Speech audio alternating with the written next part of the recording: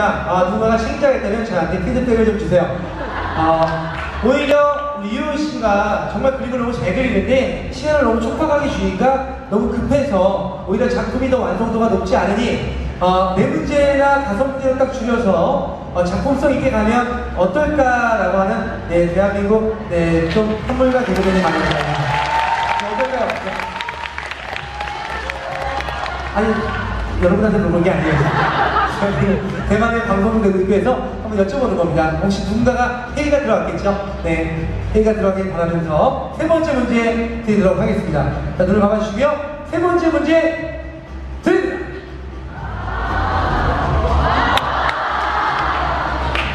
자, 이거 쉬울 것 같아요. 헤이! 헤이!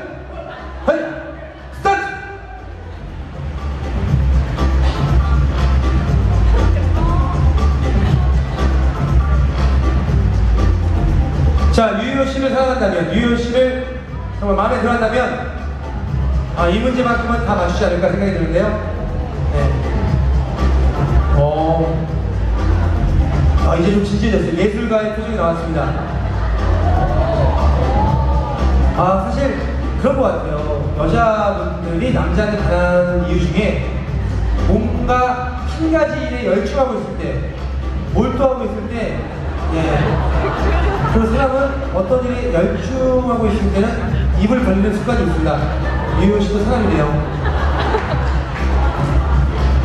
아, 네. 네, 아니, 네. 그런가요? 네. 네. 자, 지금 이제, 오, 야, 이건 좀 작품 같다. 야, 이건 맞추겠죠?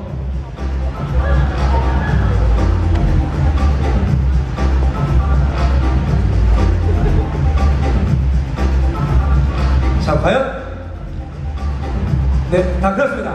자, 좋습니다. 과연 이 문제를 맞출 수 있을지. 자, 우리 네 분 뒤돌아 서주세요. 자, 문제를 봐주시고요. 5초의 여유 드리겠습니다. 자, 다들 열심히 미소를 띄우면서 다시 한번 보여주세요. 네. 네. 다시 한번 문제를 보여주십시오. 네. 네. 전 누군가 소통을 하고 싶습니다. 네. 다 보였죠? 자, 정답 앞으로 보여주세요. 자, 지금 세 분이 브로콜리 적어주셨고요. 우리 대만 분은 또 브로콜리라고 자, 적어주세요. 네분 다 브로콜리라고 적어주셨는데 정답 보여주세요. 자, 브로콜리라도 정답은 브로콜리가 맞습니다. 네, 정답은 브로콜리가 맞고요. 다시 판을 치워주신 후에 다음 문제 드리겠습니다.